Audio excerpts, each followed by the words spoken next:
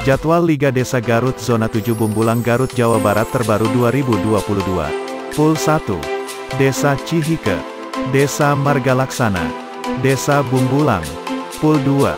Desa Wangunjaya. Desa Sukarame. Desa Cimahi. Pool 3. Desa Sukamulya.